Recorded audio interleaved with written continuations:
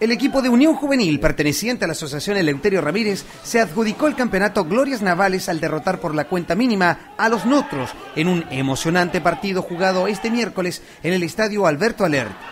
La gran final de la competencia del fútbol de los barrios, que reunió a los mejores equipos de Osorno, se prolongó por dos meses, llegando a la instancia final las oncenas, que en todo el trámite del campeonato demostraron ser más eficientes y certeros al momento de concretar. Hasta el estadio Alberto Alert llegaron numerosas personas, pese a las inestables condiciones climáticas. Al finalizar el partido, Mario Barrientos, director técnico, destacó el triunfo de sus muchachos.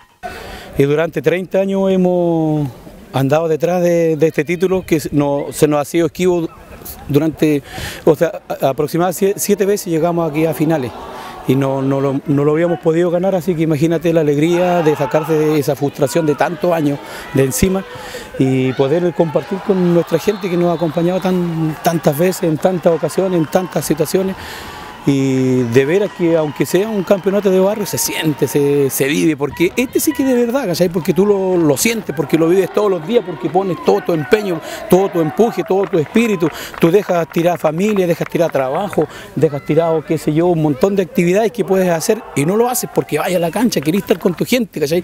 Porque esto es vida. De la misma forma, el presidente de la Asociación del Fútbol de los Barrios destacó el gran nivel de la competencia y el permanente apoyo recibido por la Municipalidad de Osorno a través del Departamento de Deportes y su canal de televisión.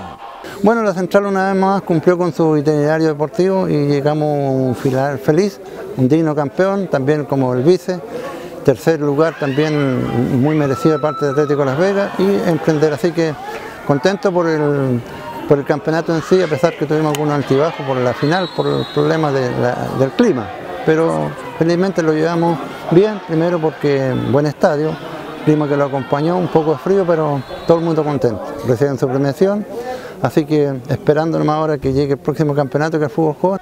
Esta jornada se inició a las 12 horas por la disputa del tercer y cuarto lugar entre Atlético Las Vegas de Ragüe Alto, que superó por la vía de los lanzamientos penales, a emprender también de la Asociación de Ragüe Alto. Finalmente, los campeones celebraron junto a la barra la copa que los condecoró como los mejores de la competencia, siendo esta vez la primera vez que se adjudican el campeonato Glorias Navales.